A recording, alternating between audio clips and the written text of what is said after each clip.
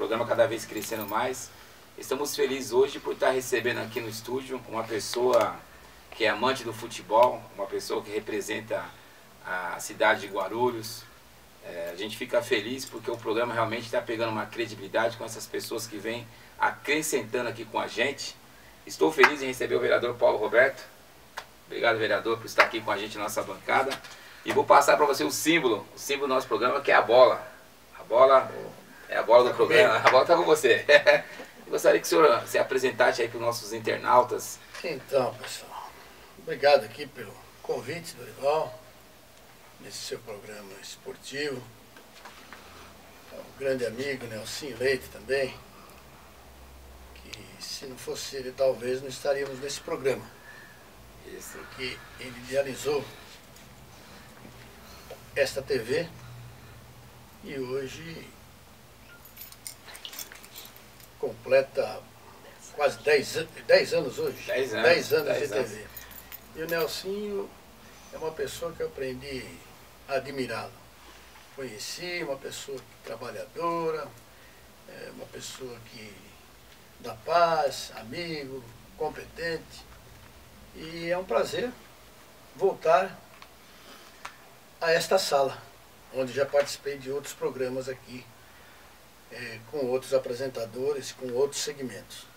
Orival, o que a gente deseja é sucesso, que você obtenha sempre êxito, porque falar da várzea de Guarulhos, lutar pela várzea, trabalhar pelo futebol de várzea, é um tanto que difícil, porque não é problema de administrações municipais, é porque faltam recursos, né? E os recursos são parcos, então é complicado. A gente sabe o que sofre um clube de várzea. Nós temos o GPR, que você conhece, Conheço o GPR. o Grupo Paulo Roberto, há 23 anos. Então a gente sabe da luta que é para você manter hoje um clube na várzea, com parcos recursos. Até o, o lado profissional hoje, o- os profissionais que, que ainda têm subvenção, têm subsídios, recebem, enfim, são patrocinados, já passam dificuldade. Que dirá a várzea de um modo geral.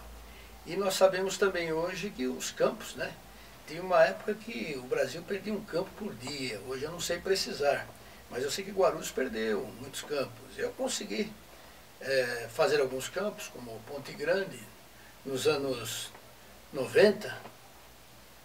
Assim como ajudei também, lá onde hoje é o Moleque Travessa, antigamente tínhamos ali a Portuguesinha, o Campo da Paz também que nós fizemos na época, senão estaria invadido lá, e mais conseguimos na época é, pa- passar, nivelar, foi uma luta, mas está lá. Hoje é uma realidade, hoje é um distrital, né?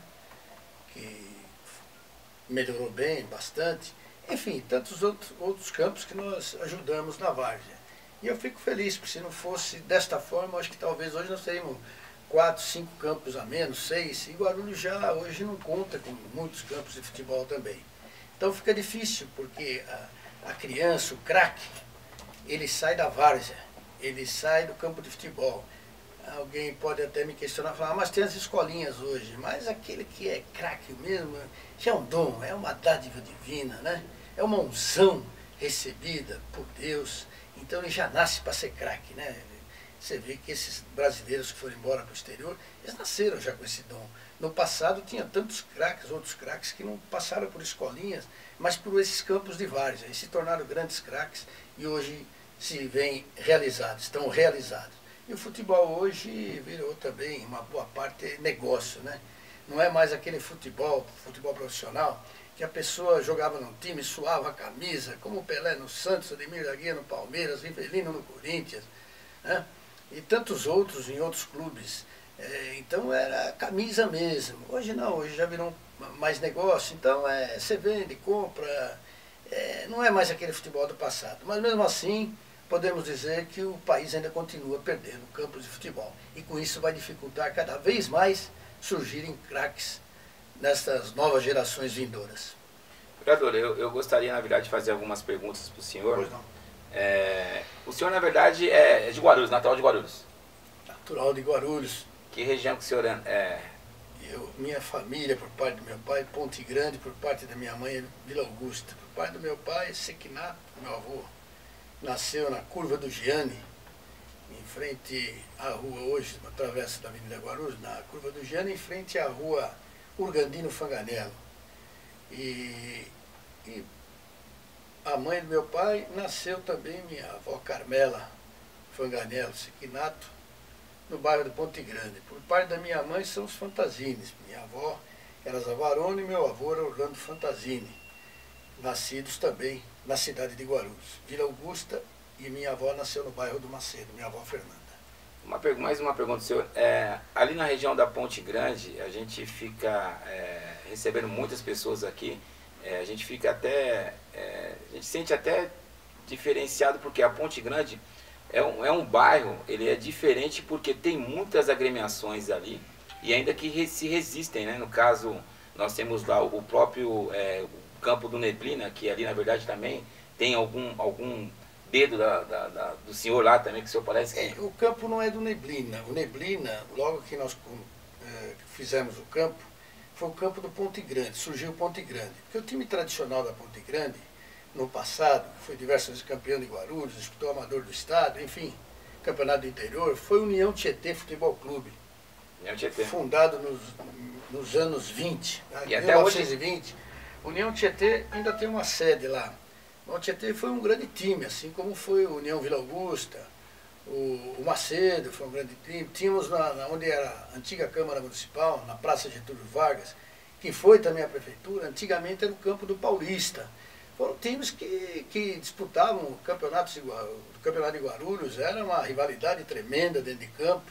Fora de campo é aquilo de sempre, mas dentro de campo era uma rivalidade, era um campeonato muito forte, era uma única liga. Então nós tivemos é, espetáculos de futebol mesmo. Muitos surgiram dali, foram muitas pessoas para o profissional naquela época eu falei que, né, que a pessoa punha aquela camisa e ficava até parar de jogar futebol.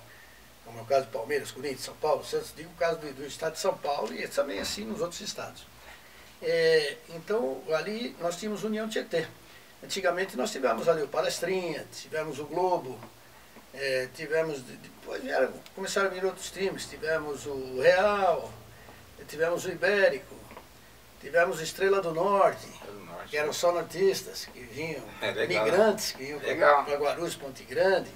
Tivemos o Estrela também, o Vitória também. Tudo Vitória, na região da Ponte Grande. Tudo naquela pequena região da Ponte Grande.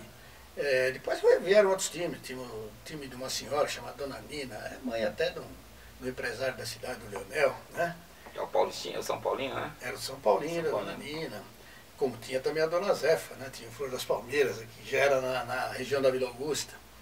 E, mas lá na, na, E ela, o marido dela foi presidente da Liga, um grande presidente, né? Senhor Antônio Soares. Que tem o, o estádio do Flamengo leva o nome dele hoje. Casal maravilhoso. Mas tivemos outros times também, como Juventude, foi um grande time.